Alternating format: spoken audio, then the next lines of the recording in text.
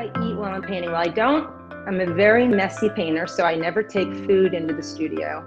I have, I always have like tea or coffee or water in the studio, but luckily the kitchen's right next to my studio, so I'm in and out. Um, not, not great, but I'm in and out all day long in the kitchen, just noshing on snacks. But I, I never have any food in the studio with me. I paint. I I'm always wearing jeans. Like um, my studio clothes are like purgatory for my regular clothes because I have my favorite jeans that I, that I have, and then when they're no longer um, suitable for public consumption, I'll bring them into the studio, and that's usually what I'll wear: sweatshirt, t-shirt, and and ripped jeans.